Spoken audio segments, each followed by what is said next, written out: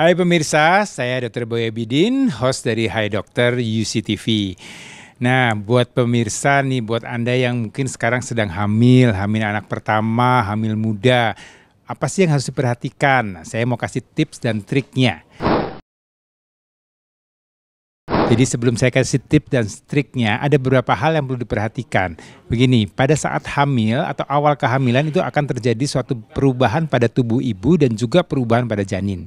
Kita bilang dulu perubahan pada janin. Jadi janin itu mulainya terbentuk ada sel telur dan sel sperma bertemu. Kemudian dia akan berkembang menjadi makhluk hidup, dia akan tumbuh di dalam rahim. Nah, pada tiga bulan pertama atau trimester pertama, di situlah terbentuk organ-organ janin. Jadi tiga bulan pertama sebenarnya ada suatu masa yang sangat menentukan kalau di situ terjadi gangguan, terjadi masalah, maka akan terjadi gangguan pada tubuh kembang bayi selanjutnya.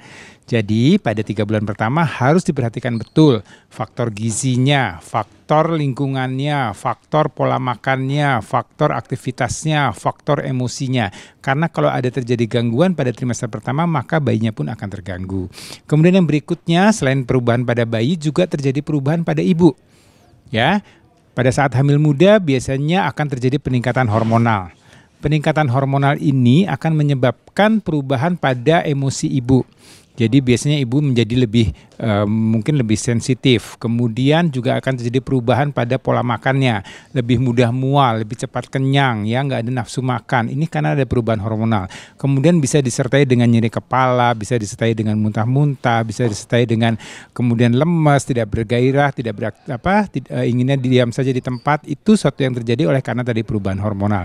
Dinikmatin saja. Begitu mes, masuk di trimester 2 atau sudah lewat masa trimester 1, masuk trimester bulan keempat, bulan kelima, biasanya keluhan-keluhan tersebut akan hilang dengan sendirinya.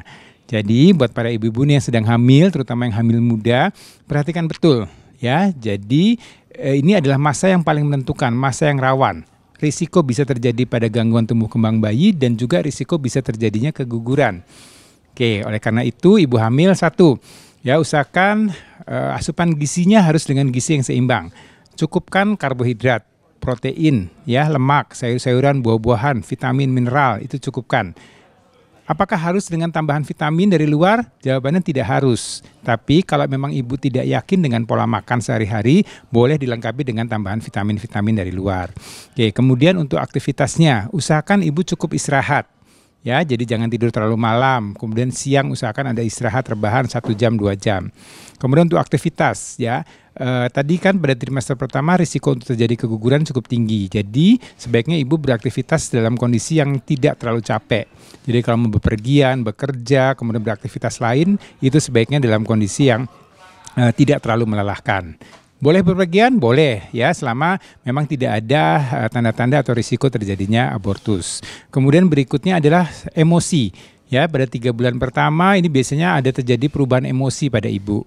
Ya, jadi usahakan selalu happy selama hamil. Ya, dengan ibu happy pada saat hamil maka ibu bisa menikmati kehamilan dan juga bayinya akan merasa happy juga.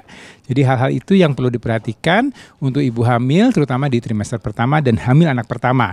Ya, karena biasanya nih kalau hamil anak pertama kan ibu belum tahu informasi, belum bisa merasakan langsung apa sih yang terjadi pada saat uh, awal kehamilan tadi. Ya, jadi poinnya sebenarnya simpel saja. Jadi sekali lagi ibu hamil bukan ibu sakit. Ibu hamil adalah suatu ibu yang sehat, tapi dia ada bayi yang berkembang di dalam rahimnya. Untuk itu dia harus menjaga betul ya. Sudah masuk lewat trimester 1 dia akan sudah lebih kuat bayinya jadi ibu sudah lebih nyaman di trimester 2 untuk beraktivitas. Tapi tetap pola makannya harus dijaga dengan baik oke?